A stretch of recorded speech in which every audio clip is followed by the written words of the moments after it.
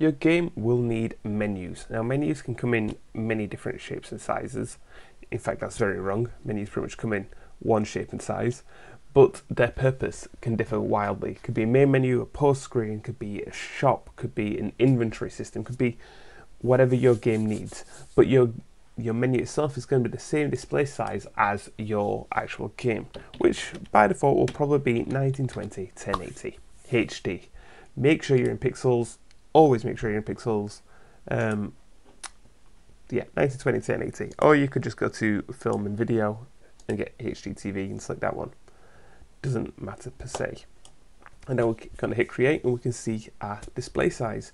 Now, in terms of actually making the menus themselves, most menus are made up basically two parts really is part one is going to be your background so you're going to have your background image.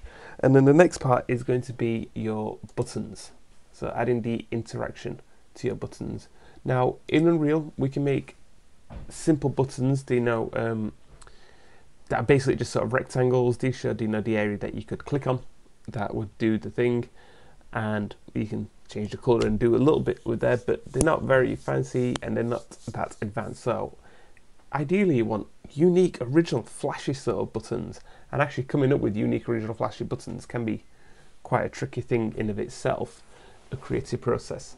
Um, but those buttons you know have a bit of play try and come up with a unique design. With this menu I went I tried to go for something that was universal. And what I mean by that is it uses uh, iconography or metaphors, visual metaphors. We can see by looking at this that this is a two-player mode, one-player mode, or settings. We're very universally accepting of the cog meaning settings. There's lots of different um, visual metaphors such as like a floppy disk for save and just this is just how we understand this and I could release this game in whatever country I wanted and everyone could sort of visually understand it. I wouldn't have to care about localization. Whereas this system, you'd have to translate this in French and German and Italian, all those other languages.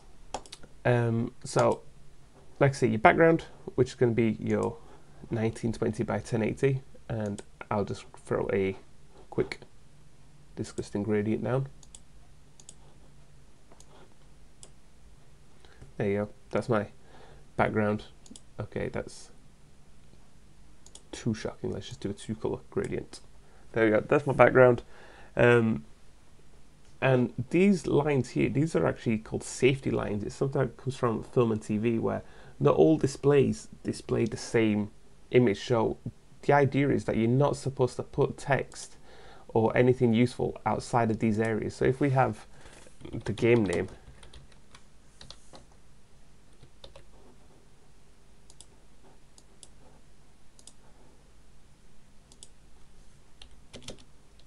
Ooh, let's go 105. That you know we sort of snap it into the corner.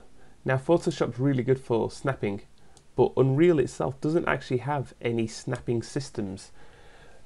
So try and do as much as you can in this. Now, when it comes to actually the making of your buttons, let's do a, a custom shape. We'll just have stars. Make these on new les. I'm just gonna hold shift and let's give this a, a more yellow fill because it's a star.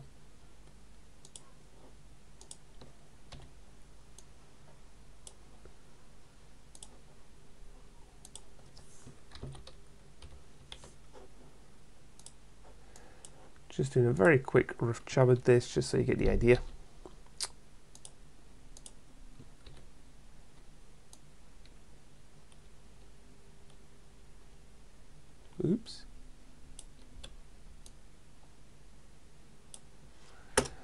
And once you're happy with everything, I would hide your buttons and save this itself. Now you can save this as really you want to save it. I'll probably go for either a JPEG or a PNG. Um, it doesn't matter because it's not got any transparency. But JPEG usually is a smaller file type. However, when it comes to saving your buttons, that's actually bad. Let's put it there. When it comes to saving your buttons, I would recommend firstly crop it down because any extra space, any even if it's blank space, is wasted memory or wasted file size. And we're all about optimization when it comes to this. And then you want to save file, save as. And this you will want to save as a PNG because it contains alpha information. When I say alpha information, I mean this checkerboard at the back. That would mean it's transparent. So when we put it into our game, it comes through transparent. Now, another thing to consider, and that's quite easy to do, is custom fonts. Make your game look unique. I just put generic font there, but why have generic font when you can have a nice font? So I usually use Google fonts because they're open source, like they're free license. You don't need to worry about any of that stuff. And just sort of scroll through until you find a font that's going to suit your game. Like, no, not that one.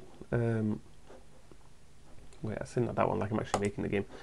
So once you've found your font, we can just go ahead and hit download and download those and import them, do whatever you want with them. So with our background saved and with our font saved, now inside Unreal, we can, I've already got a widgets folder here, so I'm just going to import it into there. I could import my images and I could import my font. So would you like to use this font as this? Yes. Yes to all. Cool. Import my font. Now, when I create my user interface, I right click into space, create user interface, blueprint widget, main menu, underscore widget. And let's open that up.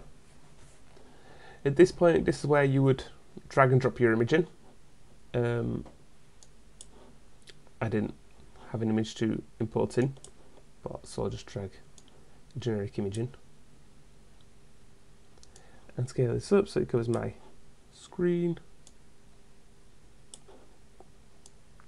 What you'd probably want to do actually is just use 00, 1920, 1080 so it's all actually the correct scale and then if you wanted to start adding text to this if you didn't do the text all in Photoshop which you should do the text all in Photoshop just import it as an image but if you didn't we can click and change this font.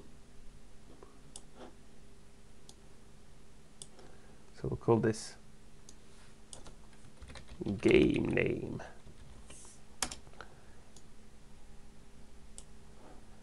And then we would import your button. You know what, let's actually just save the button for display purposes.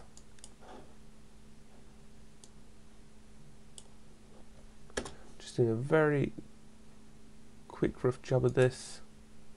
In fact, no, let's do a better job of this.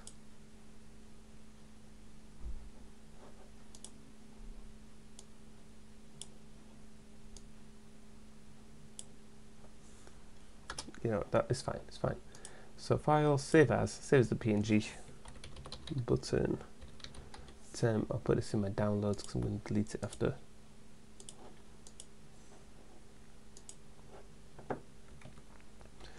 Okay, now back in here, we can import my button.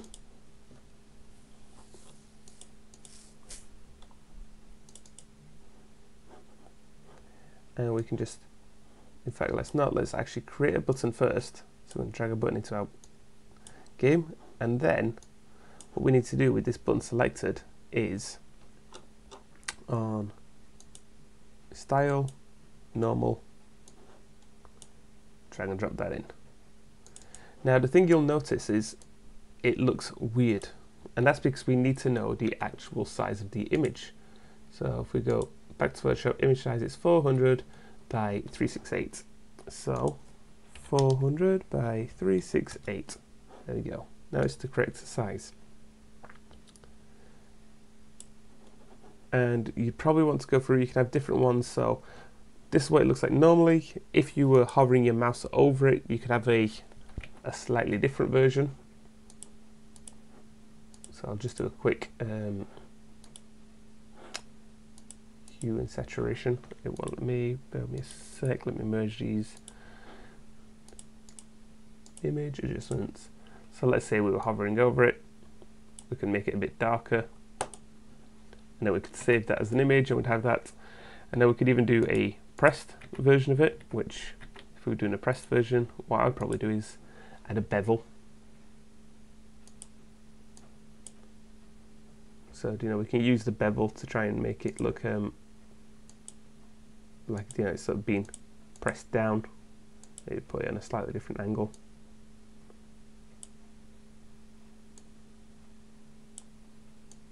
Anyway, you could play with that and do whatever you want to with that. Um, the main part that you want to do is when it's pressed, let's add a, a key to this. So when this is pressed, we want to open level. Now, at the moment, it says open level. We don't have a level name. Let's quickly create a level. This level here is called third person example map. Gosh darn it, that's third person example map. Third person example map.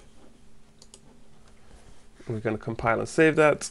Um, all done. Let's quickly create a new level. So file, new level. It can be blank. Save as selected. Right, now we've got a new level. Let's open our level blueprint. Unbegin play. Create widget. And it's called main menu. Add to viewport. Um, let's give, when I press save there, it asks me to name my level. I'm going to call it main menu. And then finally, last thing I need to do is in my project settings, so I'm going to click on settings, project settings, and then go to maps and modes, and then it says game default map and edit start map. So when the game starts, what map do you actually want it to open with? And I'm going to open with main menu, so the one I just created. So now when I export the game and press play, that's the map it'll start with. And that's going to look like this. I'm going to press F11 to go full screen on it. And so we can see it looks like that, but if you don't press F11 and you just do it in viewport, you can see it's actually wider than 16 by 9, so it doesn't actually work properly. But anyway, if I click this, I've not got a hovered version. It opens up the level. Cool, done. Um, but for your artists, for you artists out there, the main thing you're going to want to focus on is the actual making of the main menu and creating something that looks cool. Like I say, add some custom fonts, make the whole thing look nice. Don't just go for basic buttons. Think about um, all your graphical skills, you know, using your rule of thirds, which is what I tried to do in this one. Um, think about trying to use visual metaphors and um, getting a nice layout for your menu. Have a look at how other people have made menus and get some inspiration. But that's pretty much it. All right, thanks for your time.